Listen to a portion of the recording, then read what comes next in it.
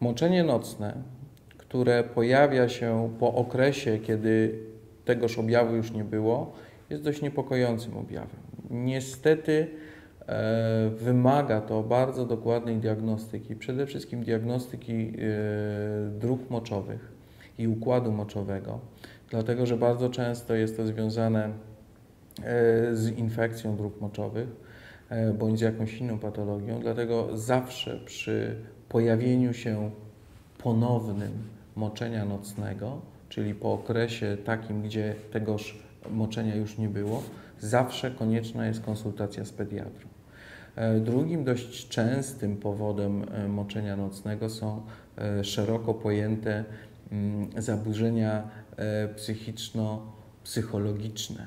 Tutaj bardzo duży wpływ ma to, co się dzieje w rodzinie, jaka jest sytuacja rodzinna, jak również jakie są relacje pomiędzy rodzicami, między sobą, relacje między rodzicami a dzieckiem.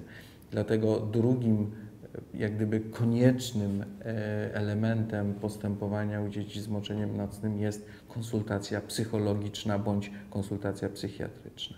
Czyli reasumując, jeżeli mamy dziecko z moczeniem nocnym, które się pojawiło po okresie już niemoczenia, wymagane są na pewno konsultacja pediatryczna, nefrologiczna i konsultacja psychologiczna, psychiatryczna.